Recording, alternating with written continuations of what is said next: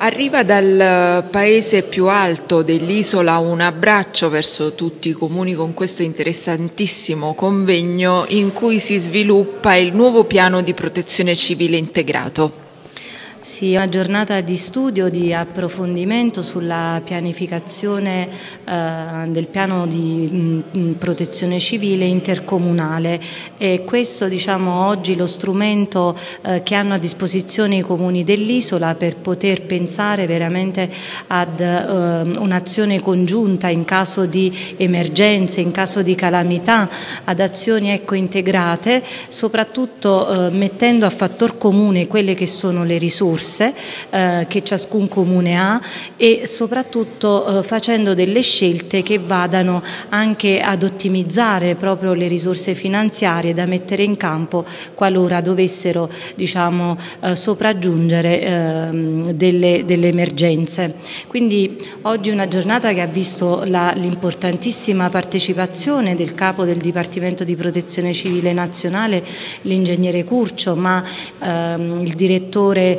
eh, della protezione civile regionale, il dottor Giulivo, eh, il, il, dottore eh, D'Angelo, ehm, coordinatore sempre della protezione civile nazionale, quindi una serie di interventi veramente importanti che ci hanno eh, spiegato effettivamente che cos'è la protezione civile, come funziona e come deve essere anche redatto un piano di protezione civile che funzioni. Tutto questo è stato possibile eh, grazie all'organizzazione della struttura commissariale con a capo eh, il commissario delegato alla ricostruzione all'emergenza frana onorevole Legnini. Eh, noi come comune di Serrara Fontana abbiamo messo a disposizione questa struttura struttura eh, per poter tenere questo importantissimo convegno. Ricordiamo che sono collegati tecnici ed esperti da tutta Italia, oltre mille collegamenti, quindi veramente una giornata molto molto importante per la nostra isola. Ricordando infine